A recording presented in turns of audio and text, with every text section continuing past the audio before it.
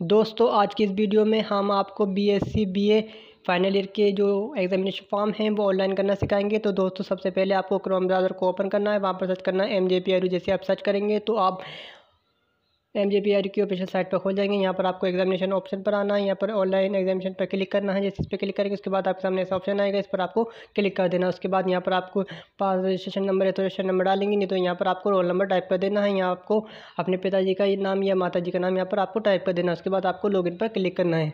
तो सिंपली हम यहाँ पर लॉगिन पर क्लिक करेंगे। लॉगिन पर क्लिक करने के बाद हमारे सामने इस तरह से फार्म खुलकर आ जाएगा। तो दोस्तों देख सकते हैं यहाँ पर स्टूडेंट का नाम जो ऑटोमेटिक ही यहाँ पर लिखा हुआ होगा। उनके जो फादर नेम है, वो भी यहाँ पर टाइम टाइप है और यहाँ पर जो आधार नंबर है, वो भी यहाँ पर लिखा है। यहाँ पर आपको कोई भी चेंज नहीं करना है। उसके बाद यहाँ पर आपको अगर आधार नंबर में कनेक्शन करना चाहें तो करेक्ट कर सकते हैं। अगर आपका आधार कार्ड नंबर गलत है तो आप वहाँ पर चेंज कर सकते हैं। उसके बाद यहाँ पर आपको माइनॉरिटी ऑफ़र वाले ऑप्शन पर जाना है। यहाँ पर आप माइनॉरिटी से संबंध रखते हैं तो यहाँ पर आपको सेलेक्ट करना है। यहाँ पर इसके बाद आपको अपनी जो सब कैटेगरी है, वो सिलेक्ट कर लेना। है उसके बाद यहाँ पर आपको नोट एप्लीकेबल पर सिलेक्ट कर लेना। है उसके बाद आपको जो आपका रिलीजन है, जो धर्म है, वो आपको सिलेक्ट कर लेना। है उसके बाद यहाँ पर आपको मेल फीमेल पर सिलेक्ट कर लेना। है उसके बाद आपको यहाँ पर डेट ऑफ़ बर्थ डालना है। डेट ऑफ़ बर्थ डालने के बाद अपना जो डोमिसाइल है, जो स्टेट है, वो यहाँ पर आपको सिलेक्ट कर लेना है। उसके बाद यहाँ पर आप का अपना जो नेशनलिटी सिलेक्ट कर देना, उसके बाद अगर आप विकलांग तो यहाँ पर आपको क्लिक कर देना, उसके बाद यहाँ पर आपके पास ई डब्ल्यू एस का फॉर्म है तो यस करना, नहीं तो आपको यहाँ नो कर देना है। उसके बाद यहाँ पर आपको जो, यहाँ पर आपके पास एक ऑप्शन आएगा, यहाँ पर आपको जो फॉर्म है वो आप हिंदी में देना चाहते हैं तो यहाँ पर हम इंग्लिश, हिंदी सेलेक्ट करेंगे, उसके बाद यहाँ पर आपको दो सब्जेक्ट सेलेक्ट करना होंगे। तो यहाँ पर आपको जो सब्जेक्ट है, दो सब्जेक्ट सेलेक्ट करना है जो आपको अपनी शिक्षा अनुसार उसके बाद यहाँ पर आपको जो पिछले यार, पिछले साल का जो क्लास है, वो आपको यहाँ पर डाल देना है। तो प्रीवियस की डिटेल डालना है यहाँ पर। तो यहाँ पर हमारा पिछले साल से बी ए सेकेंड ईयर था तो यहाँ पर बी ए सेलेक्ट करेंगे। उसके बाद कौन से ईयर का भी हुआ था तो ये 2022 में हमने इसको पास आउट करा। उसके बाद पूछा जा रहा है कि आप प्रमोट हुए थे या नो तो यहाँ पर आपको नो सेलेक्ट करना है। जैसे आप नो सेलेक्ट करेंगे तो आपके सामने इस तरह नंबर डालने का ऑप्शन आएगा। तो यहाँ पर आपके नंबर जितने में से आए थे तो यहाँ पर चार सौ का जो हमारा टोटल था, उसके बाद था चार सौ में से हमारे पास दो सौ पाँच नंबर आए थे तो यहाँ पर हम दो सौ पाँच नंबर टाइप कर लेते हैं। जैसे आप ये टाइप करेंगे, उसके बाद आपको जो यहाँ की परसेंटेज है, वो ऑटोमेटिक यहाँ पर हो जाएगी। उसके बाद यहाँ पर आपको हमें एम जे पी पे पहले से इनरोल्ड है तो यहाँ पर आपको क्लिक कर देना है। उसके बाद यहाँ पर आपको नीचे आ जाना नीचे आ जाने के बाद देख सकते हैं, इसकी जो डिटेल है वो ऑटोमेटिक यहाँ पर फिर नज़र आएगी। इसके बाद आपको यहाँ पर अपडेट पर क्लिक कर देना है।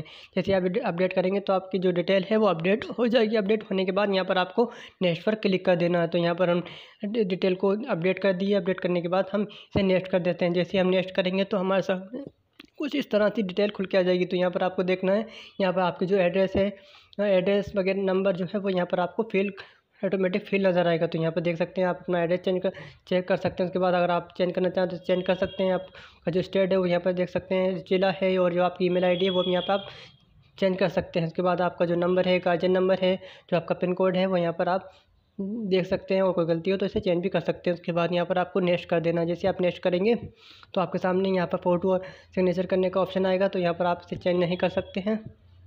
तो आप अगर चेंज भी करेंगे तो आपका यही फ़ोटो आपके जो एडमिट कार्ड पर आएगा। तो यहाँ पर आप कुछ नहीं करना है सिर्फ़ नेक्स्ट करना है। जैसे आप नेक्स्ट करेंगे तो आपके सामने पेपर वेरीफाई करने का ऑप्शन आएगा। तो यहाँ पर आपको इस वाले ऑप्शन पर क्लिक कर देना है। स्पॉट वाले ऑप्शन का ये सब्जेक्ट लेना मैंडेटरी है। उसके बाद यहाँ पर आपको दो सब्जेक्ट में से एक को सिलेक्ट कर लेना है। तो यहाँ पर हम इसको सिलेक्ट कर लेते हैं। सिलेक्ट हम इसको सिलेक्ट करेंगे। उसके बाद आपको यहाँ पर नीचे आ जाना है। तो हमने इन दोनों सब्जेक्टों में से एक को सिलेक्ट कर लिया है।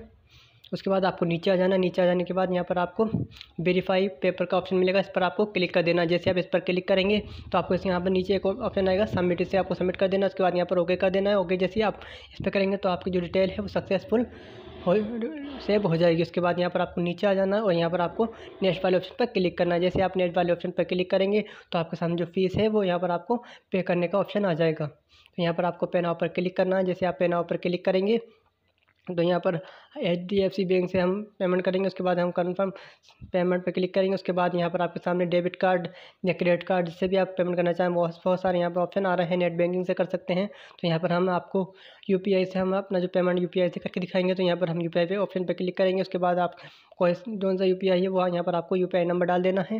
हम यू नंबर डाल देंगे, उसके बाद यहाँ पर आपको वेरीफाई वाले ऑप्शन पर क्लिक कर देना है। वेरीफाई वाले ऑप्शन पर जैसे आप क्लिक करेंगे तो आपको प्रोसेस वाले ऑप्शन पर क्लिक करना है। जैसे आप प्रोसेस वाले ऑप्शन पर क्लिक करेंगे तो आपके सामने पेमेंट की रिक्वेस्ट चली जाएगी। तो यहाँ पर आपको थोड़ी देर के सर्च लेगा। यहाँ पर आपको साइट को री रीलोड नहीं करना है। जैसे ये खुद ही ऑटोमेटिक रीलोड हो जाएगी और आप रीलोड करते हैं तो आपका पेमेंट फंस जाएगा। तो यहाँ पर आपको थोड़ी देर वेट करना है।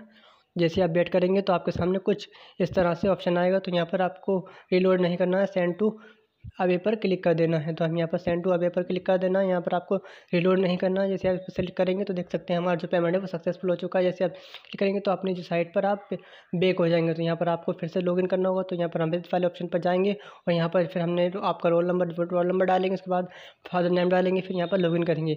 अब इस पर आप लॉगिन करेंगे तो जैसे आप इस पर लॉगिन करेंगे तो आपके सामने ऐसा इंटरफेस नज़र आएगा। तो यहाँ पर आपको देख सकते हैं एग्जामिनेशन फॉर्म इसको आपको डाउनलोड कर लेना है। तो जैसे आप इसको डाउनलोड करेंगे तो आप इसका प्रिंट आउट निकालेंगे। प्रिंट आउट निकालने के बाद आपको ये अपने कॉलेज में जमा कर देना है। तो दोस्तों, वीडियो कैसी लगी? वीडियो को लाइक करें और ऐसे इन्फॉर्मेशन वीडियो देखने के लिए हमारे चैनल को सब्सक्राइब करें।